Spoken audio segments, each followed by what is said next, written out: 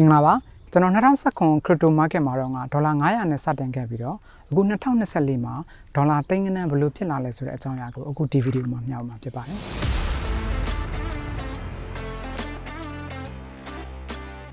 အခုဒီပုံမှာပြထားတဲ့အတိုင်း crypto လောကကထင်သလားမယိုးချင်ပါဘူး crypto ဆိုတာ get rich quick မဟုတ်ပါဘူးတတိပြည့်မဲ့ထင်ပြီး crypto လောကထဲလာတော့မှဆုံးရှုံးသွားတဲ့လူတွေအများကြီးပါပဲကျွန်တော်ကိုယ်တိုင်လည်းပဲဒီ crypto မှာဆုံးရှုံးမှုတွေ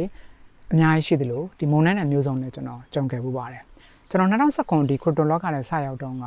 Bitcoin ဈေးက2000ဝန်းကျင်ပဲရှိပါသေးတယ်အဲ့ချိန်တော့ကျွန်တော်ဒီ Bitcoin ဝင်ကောင်းမလားဆိုပြီးစဉ်းစားနေတော့မှပဲ Bitcoin ဈေးတွေက4000 5000 6000စသဖြင့်အဲ့လိုမျိုးတွေတက်သွားတယ်အဲ့တော့ beginner တွေထုံးစံတိုင်းဟာ Bitcoin ဈေးကတော့တော်တော်မြင့်နေပြီပေါ့နော်အဲ့တော့ Ethereum ဝယ်မှရမယ်ဆိုပြီးကျွန်တော် Ethereum ကိုကျွန်တော်တင်တယ် Ethereum ဈေး400ဝန်းကျင်လောက်မှာကျွန်တော် Ethereum ကိုကျွန်တော်နည်းနည်းဝယ်လိုက်တယ်ပေါ့ဝယ်ပြီးတော့ beginner တွေရဲ့ထုံးစံတိုင်းပဲ400ကနေ 450လောက်တက်ပြီဆိုရင်ကျွန်တော်တို့ရောင်းမှုအတွက်လက်ရနေတယ်အဲ့တော့ကျွန်တော်400မှာဝယ်တယ်450လောက်မှတက်ပြီဆိုကျွန်တော်နည်းနည်းရောင်းတယ်ပြီးလို့ဆိုရင်ကြပြီဆိုနည်းနည်းပြန်ဝယ်တယ်အဲ့ဒီ trading cycle ကကျွန်တော်5ခုလောက်တော့အဆင်ပြေလိုက်တယ်ပြီးလဲပြီးတော့900လောက်တက်တဲ့အချိန်မှာကျွန်တော်အကုန်နီးပါးကျွန်တော်ရောင်းလိုက်တယ်ပေါ့နော်အဲ့တော့600လောက်တက်တဲ့အခါမှာကျွန်တော်ကရောင်းစရာမရှိတော့အဲ့ကနေ Ethereum ဈေးက600 900ရှိတာ1000ကျော်လောက်ထိဆက်တက်သွားတယ်အဲ့တော့ကျွန်တော်မှာ Ethereum နေရောင်းစရာမရှိတော့ပြီးတော့ဘာဆက်ဖြစ်လဲဆိုအဲ့1000ကျော်ကနေ Ethereum ဈေးက900လောက်ထိပြန်ကျတဲ့အချိန်မှာဟာဒါကတော့ ကြာတော့ဝယ်မှရမယ်ဆိုပြီးကျွန်တော် Ethereum ကိုအဲ့မှာကျွန်တော်ဝယ်လိုက်တယ်ကျွန်တော်ဝယ်ပြီးနောက်ပိုင်းမှာ2018လောက်ရောက်တဲ့အချိန်မှာ Ethereum ဈေးကအဲ့ကနေ100 150လောက်ထိကိုထိုးကြတယ်အဲ့တော့အဲ့ဒီမှာလည်းကျွန်တော်ခဏလောက်တော့ trading နည်းနည်းလုပ်ဖြစ်လိုက်သေးတယ်ဒါပေမဲ့ထုံးစံတိုင်း beginner တွေရဲ့ထုံးစံတိုင်းကျွန်တော်ဘာဖြစ်လဲဆိုတော့ဟာ crypto ဆိုတာက scammer ကွာဆိုပြီးကျွန်တော် give up လုပ်လိုက်တယ်2018 19 20ကျွန်တော် crypto လောကတွေကိုပြန်မသွားတော့ဘူးနည်းနည်းဟိုစာဖတ်ဒီစာဖတ်ကျွန်တော်နည်းနည်းလောက်တော့ကျွန်တော်ဖတ်ဖြစ်တယ်ပေါ့နော်ဒါပေမဲ့အဲ့ဒီမှာကျွန်တော်ဒီ2021လောက်ရောက်တဲ့အချိန်မှာ crypto က booming ပြန်ဖြစ်တယ်အဲ့ချိန်မှာကျွန်တော် Bitcoin Heaven အကြောင်းတွေဒီ crypto ရဲ့4 year cycle အကြောင်းတွေကျွန်တော်မသိသေးဘူးပေါ့နော်အဲ့တော့အဲ့ဒီမှာဒီဒီ2021လောက်မှာ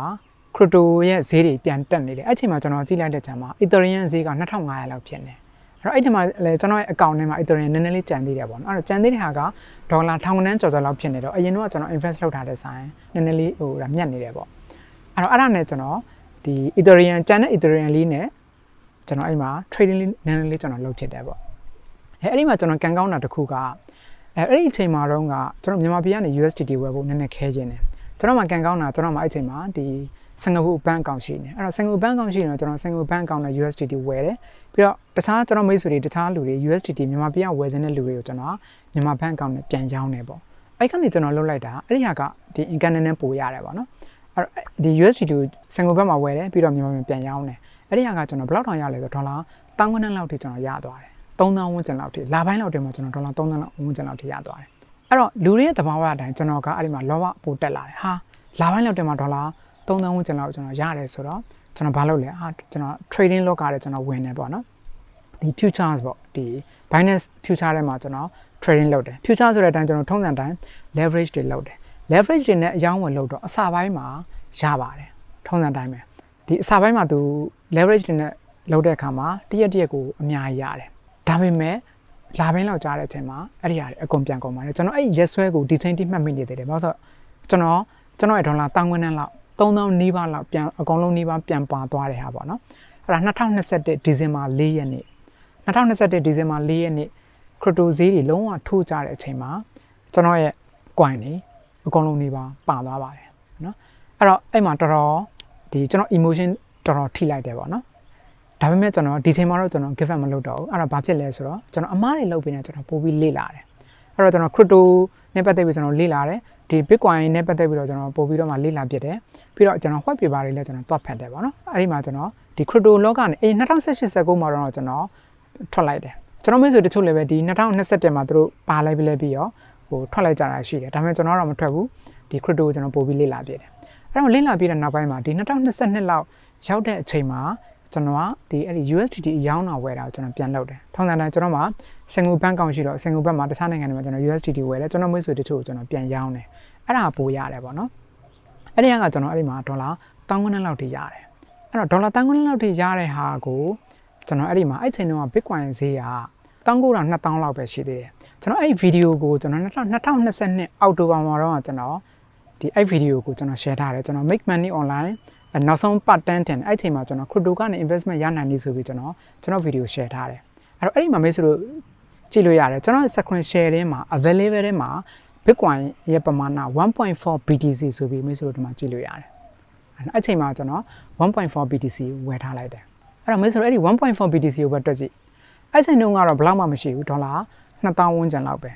ဒါပေမဲ့အဲ့ဒီ1.4 BTC ကအခု2024ပြီးခဲ့တဲ့လတော့ဆိုရင်သူက9000လောက်ထိတက်သွားတယ်9000လောက် 9000နဲ့ 1.4 BTC နဲ့ညှောက်လိုက်မယ်ဆိုရင်ဘယ်လောက်ဖြစ်သွားလဲဒါတသိန်းနီးပါးလောက်ပေါ့နော်ဒါ9800ဝန်းကျင်လောက်ထိအောင်ဖြစ်သွားတယ်နော်ဒါ1.4 BTC အဲ့တော့အဲ့ဒီ2020မှာကျွန်တော်ဒီ Bitcoin နဲ့ကျွန်တော်ရပ်မနေဘူးအဲ့တော့ကျွန်တော်တခြား order coin တွေလည်းကျွန်တော်ဆက်ပြီးလေ့လာတယ်ပေါ့နော်တခြား order coin တွေလေ့လာတဲ့အထက်မှာကျွန်တော်ဘာသွားတွေ့လဲဆိုတော့ဒီ Solana ဆိုတဲ့ coin သွားတွေ့တယ်အဲ့တော့ Solana coin ကဒုတိယ Ethereum လိုမျိုးဖြစ်နိုင်တယ်အဲ့တော့ Ethereum ကတော့ဒေါ်လာ